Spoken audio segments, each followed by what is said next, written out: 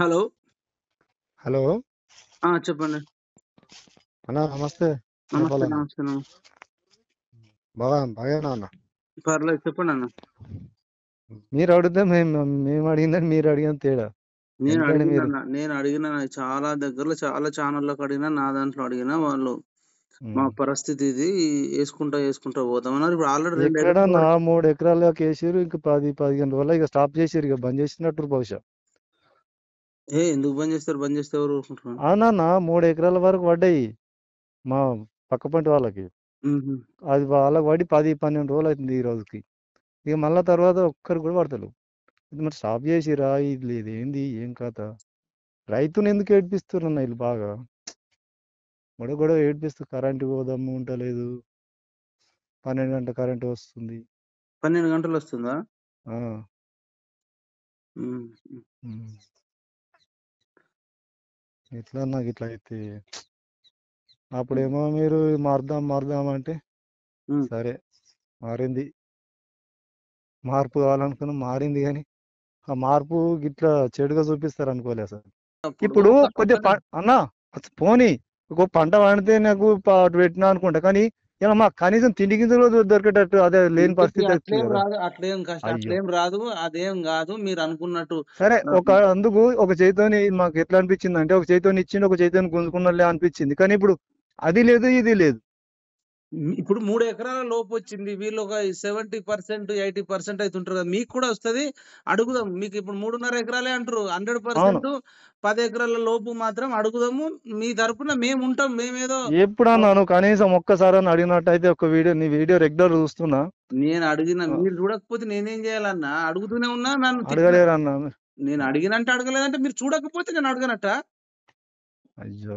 మీరు చూడకపోతే అడగనట్టు కాదు. నేను నా ఛానల్లోనే కాదు. నేను అన్ని ఛానళ్ళతో మాట్లాడినా.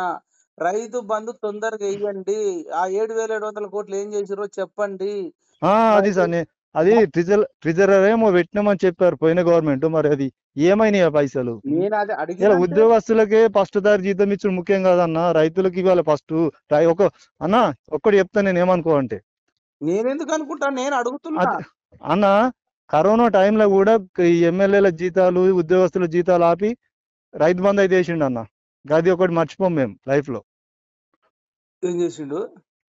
కరోనా టైంలో కరోనా టైంలో మీకు తెలుసా? అప్పుడు కూడా నా ఇప్పుడు నవంబర్లో మొదలై మార్చ్ ఎండింగ్ వరకు పడ్డాయి. తెలుసా ఎక్కడన్నా మార్చి ఎక్కడదన్నా? జనవరి ఎండింగ్ అయిపోయినాయి అయిపోవాలి మీరు కావాలంటే పంపండి నాకు. ఆ, కరోనా పంపిస్తా అప్పటిది రైతు బంధు డేటా మీకు పడితే అందరికి పడ్డట్టు కాదన్నా.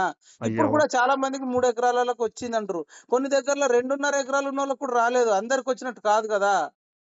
అయితే మరి కేసీఆర్ ఉన్నప్పుడు ఒక ఇప్పుడు ఇలా ఒక ఒక ఎకరము రెండు ఎకరాలు one by one day by day Git ఎందుకు పెరిగింది? ఎందుకు పెరుగుతలేదు నేను అడిగే క్వశ్చన్ అది. అది అడుగుదాం అన్న అందరం అడుగుదాం. మీ ఒక్కరి సమస్య కాదు కదా. మిగతా అయితే కేసీఆర్ స్టార్ట్ చేసిండు అనుకో ఇవాళ ఒక ఎకరం రేపు ఒక ఎకరం ఎల్లుండి అంటే ఒక నాలుగు నాలుగు ఎకరాల వరకు పడ్డాయి అట్లా అందరికి రాష్ట్రం మొత్తం. ఇప్పుడు మనం ఇప్పుడు అరవై రోజులు అయిపోయింది కదా దాదాపు. అరవై రోజులకి రైతు అరవై రోజులు రైతు మంది వేస్తా అన్నాడు అన్న పోని. అప్పుడు. నేను సమర్థించట్లేదు అన్న. ఇప్పుడు మనం చేసే ఆప్షన్ ఏంది చెప్పు. ఇప్పుడు రైతులందరూ క్వశ్చన్ చేయాలి. చేద్దాం. క్వశ్చన్ క్వశ్చన్ చేద్దాము. మీలాంటి వాళ్ళు క్వశ్చన్ చేస్తే బాగుంటది అనేది ఉంటది. ఇప్పుడు మీరు ఒక పని చేయండి. ఎవరెవరైతే రైతు బంధు రాలేదు ఎవరికైతే అర్జెంట్ ఉందో ఇందిరా పార్క్ దగ్గర చిన్నగా ఒకటి పర్మిషన్ తీసుకోండి. లేదంటే హైదరాబాద్లో ఖచ్చితంగా ఇందిరా పార్క్ ఉంది ధర్నా చౌక్. ఒకటి అది తీసుకుంటే మనం మాట్లాడొచ్చు. ఒక ఆ, రైతు బంధు రాని వాళ్ళ సభ అని ఒకటి పెట్టమాను. వాళ్ళందరూ వస్తారు కదా అప్పుడు గవర్నమెంట్ కూడా భయం ఉంటది కదా. ఇప్పుడు ప్రతిపక్షంగా కూడా ఆయనకు కొన్ని ముప్పై తొమ్మిది సీట్లు ఇచ్చారు కదా. వాళ్ళకు కూడా నెల నెల జీతాలు ఇస్తాం కదా. అడగాల్సిన బాధ్యత వాళ్ళది కూడా ఉంటది కదా. ఉంటది అన్న